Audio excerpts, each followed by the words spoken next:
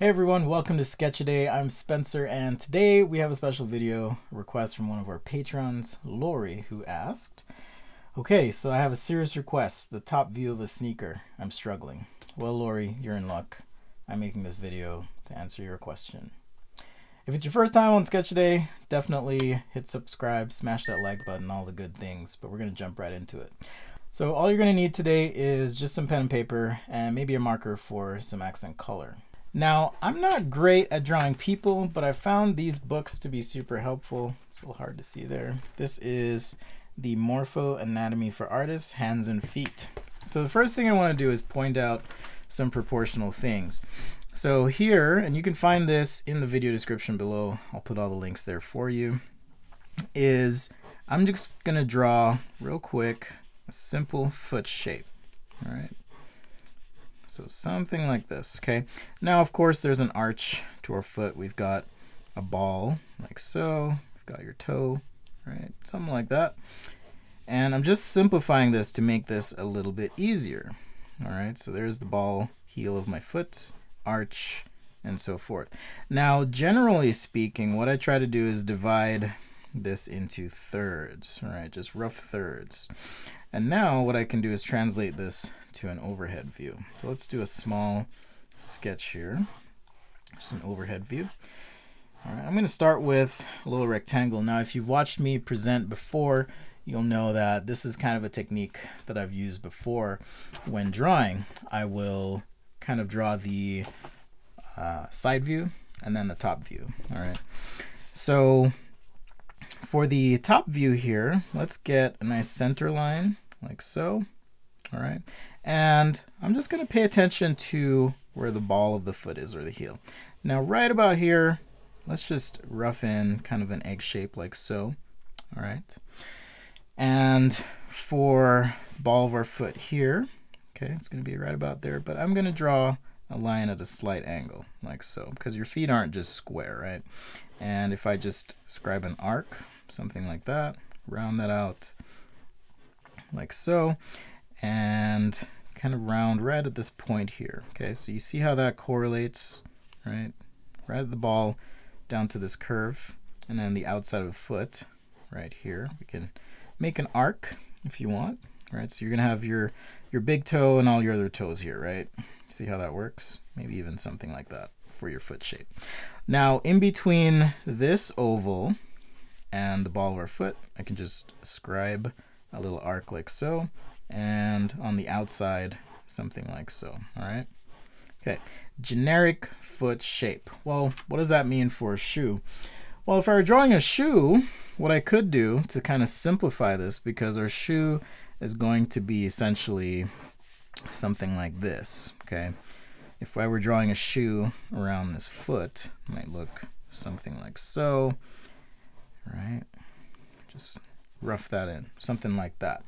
So for an actual shoe, what I'll what I would do, actually, let's extend our toe of our shoe. We don't want that too tight. We don't want that too tight on the on the foot. All right.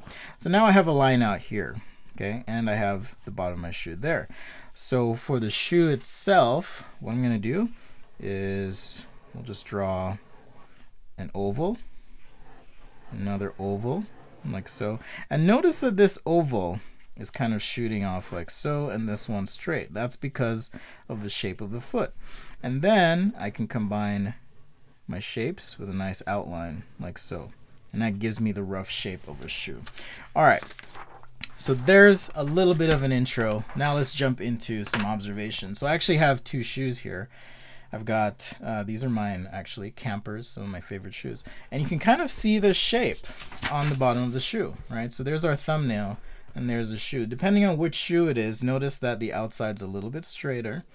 Okay, you can almost see that oval shape right there, all right? You can kind of see an oval shape there as well. When I flip it over, whoa, it's a little bit different. It's a little bit straighter. So in my sketch here, you could argue or say that perhaps this is the outsole. Now, if I were drawing the actual shoe on top of this, we're going to have some body to it, okay? Maybe just a little bit. If it's a newer shoe, you may not have that relaxed shape, but I can expand this out just a little bit, Okay, so there it is from the top. Let's look at another example. So I've got these Adidas Pharrell sneakers, right? There's that side view shape. There's the bottom shape. I've got an oval, right? And, and you can take your finger calipers, as I call them, kind of measure one, two, three. And you notice that even the, the outsole here is proportioned into roughly thirds. I like to uh, take a look at real things and try and estimate or guesstimate what the proportion is. I find it super helpful. Okay, try and find the geometry in, in the things around you. Here's the top view now, and you can kind of see it's a little bit straighter on the outside. We've got that uh, tilted oval and another oval. So let's draw, let's draw a shoe in top view. All right. So I'll just leave this here as reference so we can see this. All right. Okay. So let's draw a center line. All right. Center lines are helpful in terms of placement. And I have an oval here, just nice and light with my ballpoint pen. And then I'm going to draw a tilted oval like so. Connect with an arc like so. All right, something like that. Maybe a secondary arc here. And now I need to draw the opening for the shoe or the throat, I believe it's called. I'm terrible at names, so forgive me, but uh, this portion of the shoe here is what I'm going to draw next. All right, so I'll draw another curve just as a placeholder. All right, we also have an eye stay. All right, so depending on on the design of your shoe, you may end up with something like this, for example. Okay, where your laces are going to go, and we can kind of sketch those in just nice and light. We're going to work light until we get it right. Okay, just like so, couple laces. And maybe there's some sort of overlay or stitch, whatever is happening. Maybe this is kind of a funky shoe. And I'll change the shape here just a little bit, squared off, like so. And we're to see a little bit of the tooling as well. All right, so here around the back, like so. Right, maybe on the side here, we're to see a little bit of that tooling. Okay. And how about we just throw a logo on? We'll make this a Nike shoe. But from top view, it's to be uh, slightly distorted. All right, be a distorted logo. Now, perhaps we have some sort of pull tab on the back. You can sketch that in and of course the tongue of our shoe. And if it's constructed like this one where we have a single piece upper, then I don't need to, you know, indicate that that tongue goes back, but I'll do this as a two piece. All right. And I guess we'd have maybe a little indication of lace here. All right. And let's just add a little detail here on the tongue, or for the tongue rather, and a little bit of that also. So like I said, working light until we get it right. So now that I'm at this point, I can start rotating my page a little bit. Okay, and just hit this outline with the ballpoint pen. Draw with your shoulder where possible, but the nice thing with a ballpoint pen is it kind of acts like like a pencil in some regard. You know, I can come in and have some shading here, for example on this uh, tooling, as it's called, this portion of the shoe that perhaps has our cushioning. Maybe there's a little cushion insert here, a little bubble, if you will. Maybe there's another bubble on this side. We can enhance some of our lines like so and just work it that way. All right. I'm not going to take this all the way to what I would consider to be a super tight finish sketch, but let's just work on the laces a little bit. All right, so we have one, and now all you need to do is kind of alternate, all right? So I know this lace, okay, so the, the lace going this way is always gonna overlap, go into a hole, and then come out like so, all right? So in, out, in, and I just need to move the position of this one here a little bit, out right? And as long as you follow that pattern, you're okay. All right, as long as you follow, oops, wrong position there. As long as you follow that pattern, you're okay. Don't do what I just did, but uh, just follow that pattern and you should be okay. All right, so I'm gonna draw these first, and then now I can do this side, all right, where we're gonna have our laces go in and out, in and out, in and out, just like so.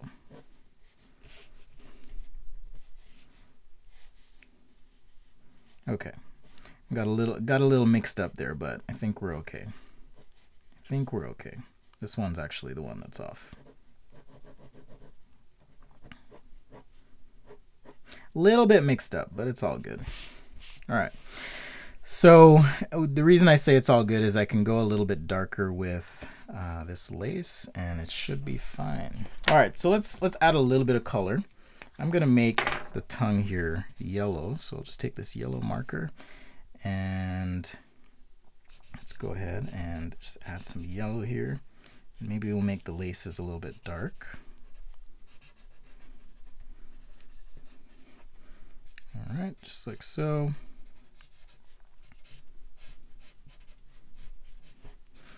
And just by way of information, I'm using regular printer paper here. This is not marker paper, and these are Chartpak markers. If you're curious about the stuff I use, you can always check out the link, sketchaday.com slash stuff. That has links to all of these materials. So I'm using Chartpak markers today. So this is what I meant by, hey, I can fix this. You know, just shade in my laces. I'll make them dark with my ballpoint pen here.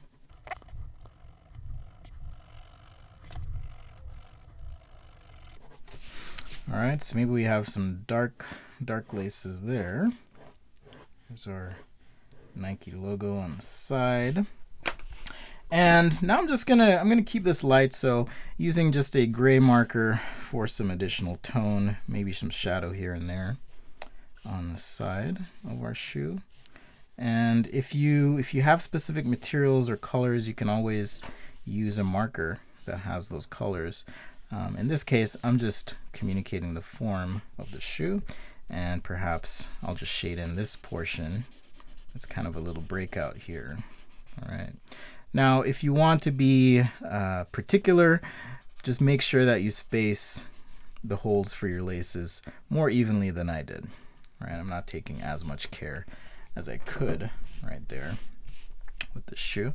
Um, now that I have the marker on, I'm just gonna enhance this part break a bit. Right there, right there. And now perhaps create a little bit of texture with some hatching.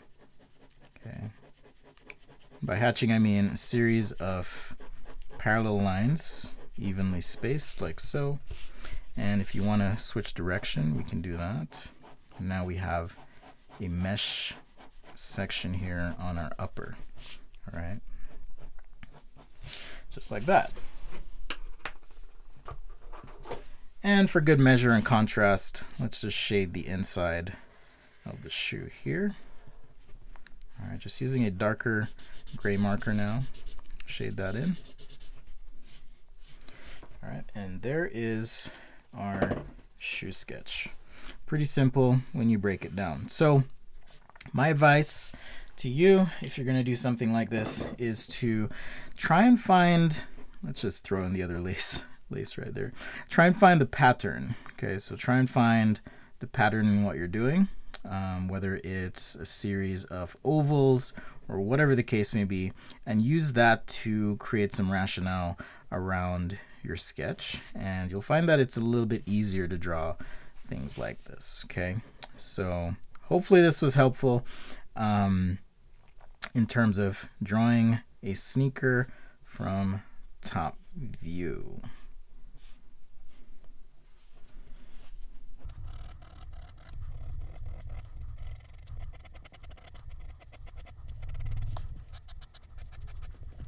Well, thanks everyone. Hopefully that was informative and gave you a few tips or ideas on how you can break something down and understand. Like I said, links will be provided in the description below, so check those out for the Morpho book if you need help with anatomy as well as if you're curious about the materials I used in the video. if you need additional help, be sure to check out sketchaday.com slash discord. We have a community as well as weekly challenges. And on Fridays, we do Fan Friday, where we feature your work and go over those challenges as well. Thanks, everyone. Take care.